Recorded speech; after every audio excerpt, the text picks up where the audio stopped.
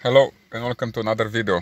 Today we have a Audi A8 and I will show you on VCDS how you can check this actuator from flaps.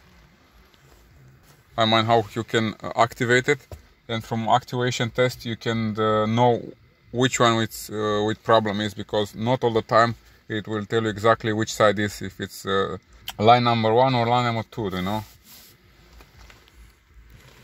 and I will show you how you can uh, how you can detect it very easily and you can uh, know which side you should replace it. And as I said I will show you how you uh, can uh, make the measurements. And you have here bank 1 and bank 2 or bank and it explained you very easily how it can do. Okay. And switch on the engine. It's running. Press the pedal. You see also here brake. And now you should push the pedal. And then you press here okay and the test starts. And he will go until 2800 rotation.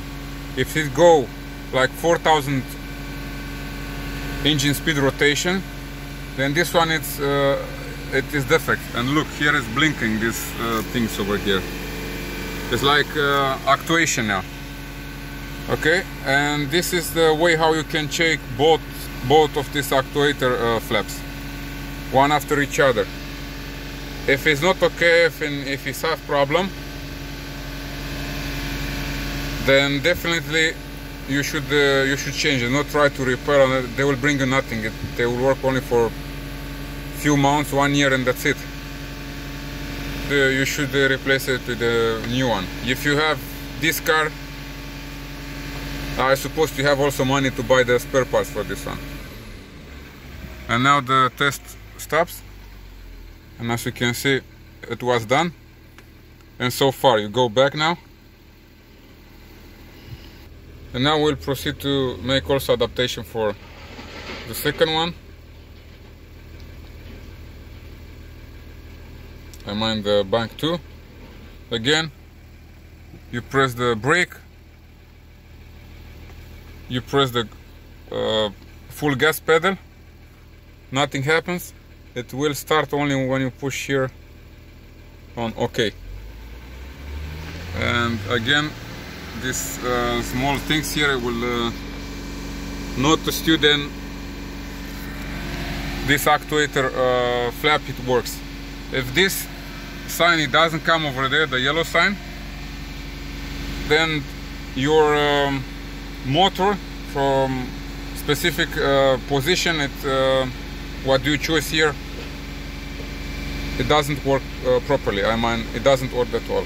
And this is a problem. You should you should change it. I don't suggest you to try to repair because after a few months one year or something you have again problem.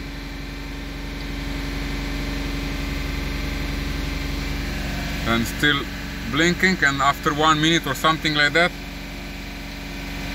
after this adaptation it will uh, stops automatically. You see? I take my legs from the gas and also from the brake. I go back.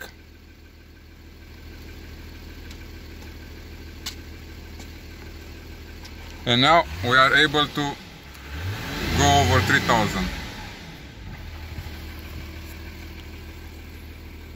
and this is the way how you can actuate uh, these flaps and this is the way how you can check if they have problem and you can do it yourself.